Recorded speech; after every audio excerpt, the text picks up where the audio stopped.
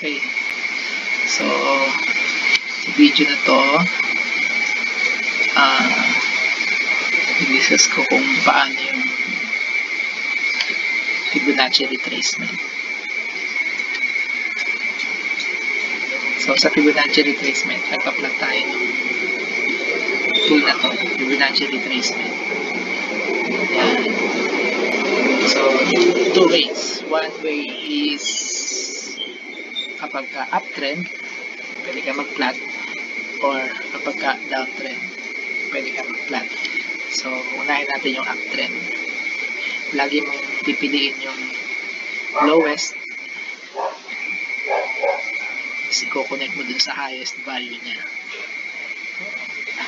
Ang ginagamit ko ay um, ginagamit ko ay yung mga body ng candlestick hindi yung mga dulo sa body ako nagkakabit Ayan. so ito yung Fibonacci retracement ang importante yung levels lang naman dito ay itong 38.2%, 50%, tsaka yung 61.8%. And, sinama ko na yung 88.6. So, paano ito ngayon interpret? Yun. So, di ba, uptrend to.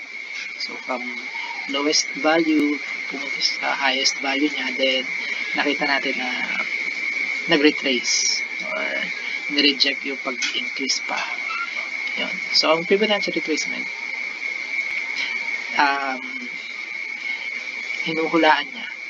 Parang gano'n, hinuhulaan niya kung saan posibleng tumigil yung mga or mag-settle down yung mga prices.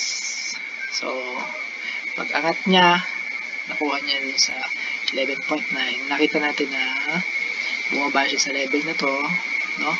And, dumire-diretso hanggang yun, nalampasan yung 50%.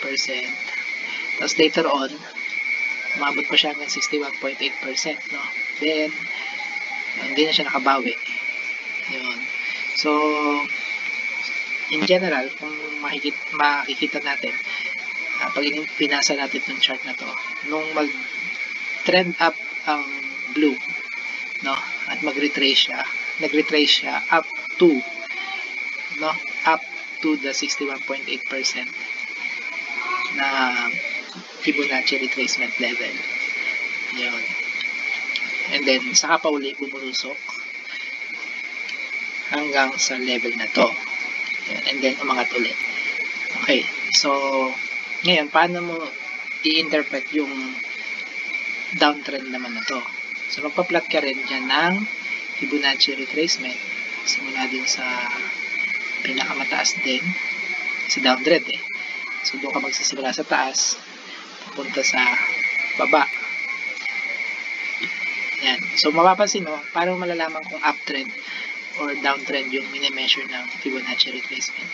Yun ay sa positioning ng 100% tsaka ng 0% levels. Pag ang 100% ay nasa baba at ang 0% ay nasa taas, uptrend yun. Kapag 100% sa taas, 0% sa baba, downtrend yung mini-measure niya.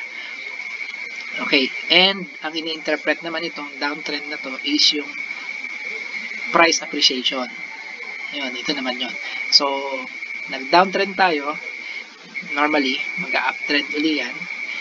Mini-measure nung Fibonacci retracement, yung mga levels kung saan, hanggang saan siya aabot ng pagtaas. So, kita-kita natin dito, no? Napakaganda ng retracement. Pagbagsak niya, umangat uli siya, doon na naman, 61.8% uh, Fibonacci retracement. Kanina, di ba, umangat siya, at tinignan natin yung pinakabagsak niya, pinakadulo ng bagsak niya ay hanggang, yung unang bagsak niya ay hanggang 61.8%. Dito naman, pagbagsak niya, yung bounce up niya, up to 61.8% naman.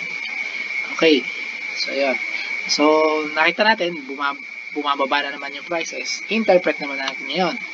So, this is another uptrend. Mali nga lang, paplat na naman tayo ng Fibonacci retracement sa kanya. No?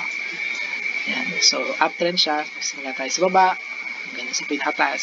And then, huhulaan natin, based dito sa Fibonacci retracement tool na to, saan siya posibleng tumigil mag-bounce. So, historically, nakita natin 61.8% is a long stretch. Kumbaga, doon talaga nag-bounce, nag uh, to turn uli. Ayan. So, sa tatakbuhin itong bloom, expect natin, mga uh, baka, dito siya most likely na mag-bounce uli pataas. Bababa siya dyan, then babounce uli siya. Then later on, pwede rin bumaba or dumire-diretso na ulit pataas. Depende sa gusto ng market. But at least, you know, pag nagpa-plan ka ng entry mo sa trade na to, sa stock na to, gusto mong pumasok, yun, Fibonacci retracement, pwede mong gamitin. Plot mo lang siya, uh, hanap ka ng trend, kung uptrend yon uh, nakita mo na may peak, may low, may mga lows siya, tsaka peaks, connect mo lang, no? And then, ma, ma measure mo na kung saan ka posibleng pumasok. So, pwedeng pumasok sa 38.2%, sa 50%, or sa 61.8%.